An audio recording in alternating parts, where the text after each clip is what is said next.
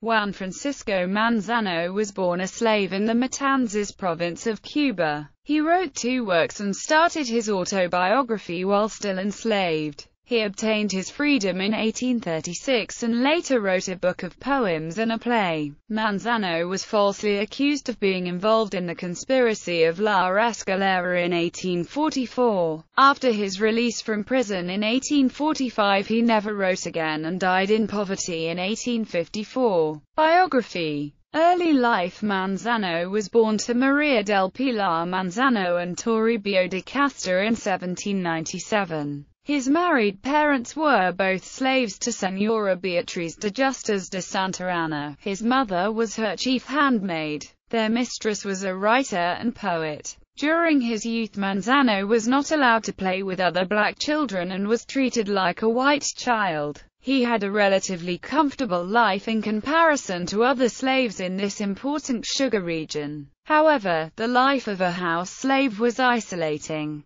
His next mistress, Maria de la Concepcion, La Marquesa del Prado Ameno, was cruel and abusive. Manzano escaped. Learning to write Manzano was a domestic city slave with little power over his life, but was taught to write by his master. His first mistress exposed him to the arts, and, under her care, he memorized short plays, bits of opera and other works of theatre. Subsequently with a master, Manzano was not allowed to use time that he could be working to recite by heart or write letters. But he practiced writing letters with the discarded notes of his master, first copying the script and then writing himself. Until he learned to read or write, Manzano was limited to remembering others' poetry. Writing allowed him to express his own viewpoints. He became a part of a group of Cuban reformists who, with a publicist and liberal writer named Domingo del Monte, encouraged Manzano to write. The group took up a collection to buy Manzano's freedom. Manzano's poetry was edited by publishers who sought to create a cleaner version of the text, but in the process the poems lost their authenticity. While still enslaved, he wrote poesias lyricas and Flores pasajeras. In 1835 he began writing his life story at the request of Domingo del Monte, who bought Manzano's freedom in 1836. Del Monte wanted him to write a narrative of his life to help promote abolitionism among the enlightened middle class.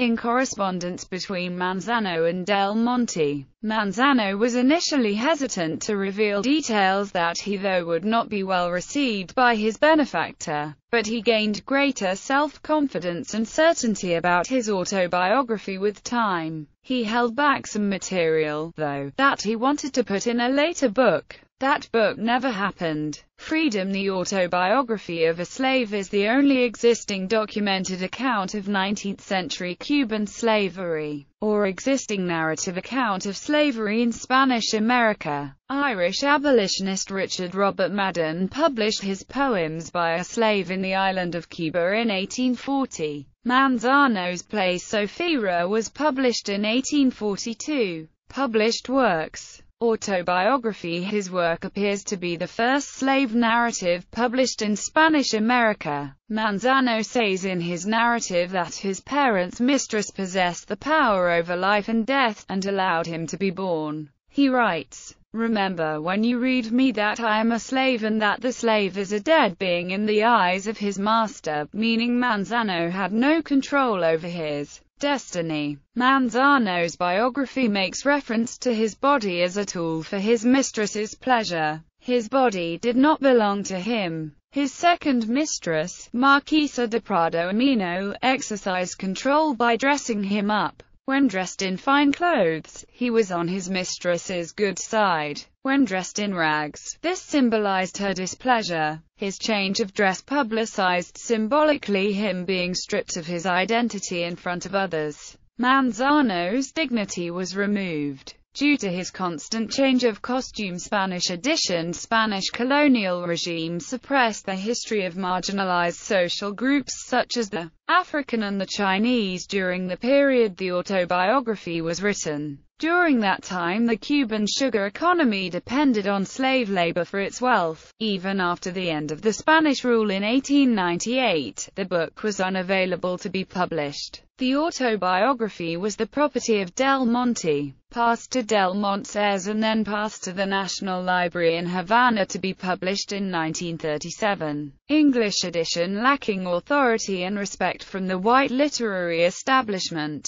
Slaves needed white sponsors who could get their works published and distributed. In Manzano's case, the mediators were Del Monte and Madden. Because a Spanish version could not be published for some time, an English version translated by Richard Madden was created. In North America, slave narratives were translated and edited, partly for dramatic effect and sometimes omitting details. In Manzano's case, names Places and dates as well as instances of brutality were contradicted by moments of peace and happiness which were included in the later Spanish version. Madden's translation of the text into English unauthorized the text by making it anonymous. The text was entitled, The Life and Poems of a Cuban Slave, to generalize it. Some details, however, remained that identified Manzano such as how much it cost to liberate him or the fact that he was the only slave poet on the island. Overall the text was to represent not one individual's life but the life of a Cuban slave. Madden included the slave narrative in a book that offered poems about abolition in an appendix containing conversations between him and Del Monte. In the end, only a fourth of the text was written by the slave himself.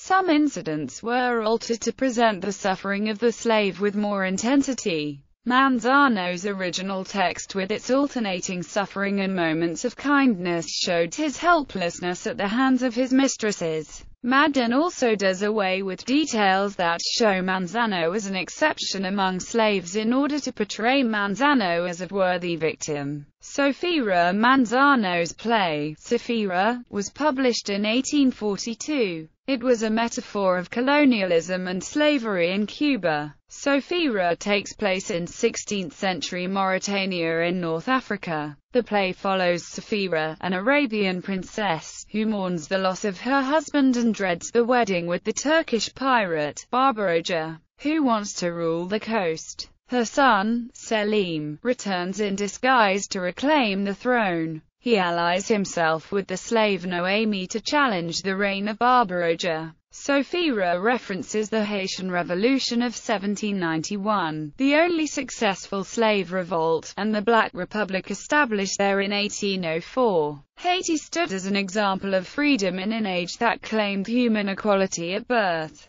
The revolt led wealthy landowners to flee to Cuba bringing stories of the rebellion. French slaves were not allowed in Cuba for fear of another revolt. The presence of Spanish soldiers to prevent another uprising did not permit white Cuba's autonomy. In the play, Selim possesses a mysterious letter which was not present in the Spanish version of the play. Sofia presents the letter to Barbaroja who responds to the letter with fear. This represents the Spanish and Cubans' fear of another uprising like the one in Haiti. The themes of tyranny, exile, subjugation, slavery and rebellion in 19th-century Havana indirectly challenged Spanish colonial rule. Being cautious, Manzano gave obscure reference to his views of personal and national sovereignty to the audience. The audience was already aware of a national consciousness, some of which identified with the anti-slavery sentiment of Sofia. His drama reflects the intellectual and political values of the Enlightenment such as reason, order, justice and equality. Although it was a subtle criticism of Spanish rule in Cuba, Sofia's familiar content did not raise concern. Manzano may have found inspiration for Sofia from an earlier Spanish version entitled Tragedia. Cuban playwrights in the 18th and 19th centuries would take Spanish works and Cubanize them. The Spanish hero in the original version was taken out in favor of the slave Noemi who represents Afro-Cuban slaves.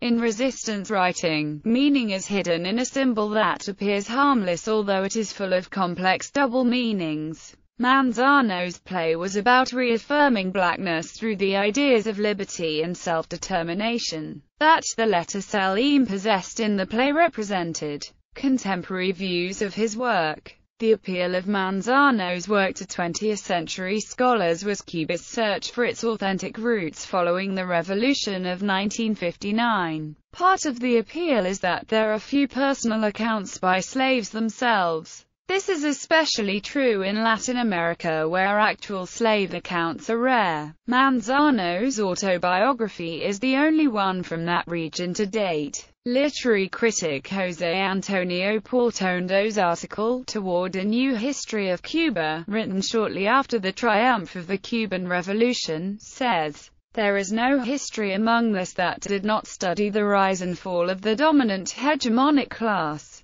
the island bourgeoisie. He recommended to include the exploited class and their struggles into Cuban history.